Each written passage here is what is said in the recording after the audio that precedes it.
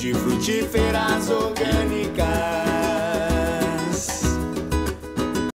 Fala galera do Frutíferas Orgânicas, tudo bem com vocês pessoal? Eu espero que sim. Responder uma dúvida aqui de vocês aí, queridos inscritos e inscritas.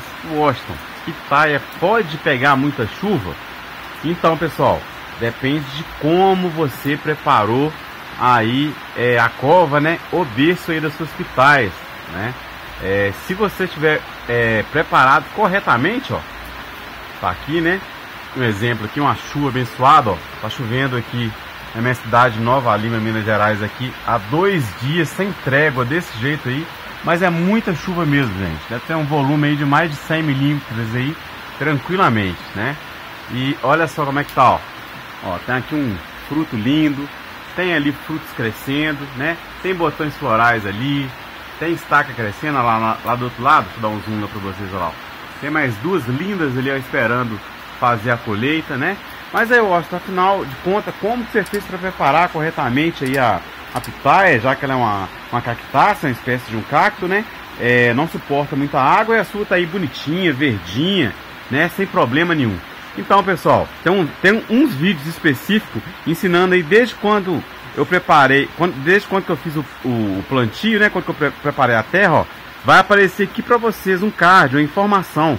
Basta vocês clicarem nessa informação que está aparecendo aqui, ó, vocês apre vão aprender a proporção de areia, de terra, né? E de adubação que vocês vão fazer para poder estar plantando a pitaia. Olha só, tá direto na terra essa aqui.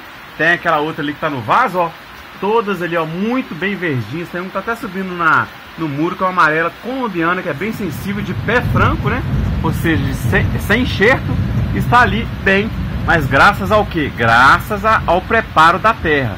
Graças ao substrato especial que eu preparei para esses dias, é para ela suportar todos os tempos, somente essa época de chuva. Se você não fizer assim, certeza absoluta que vocês vão perder as suas pitaias, né?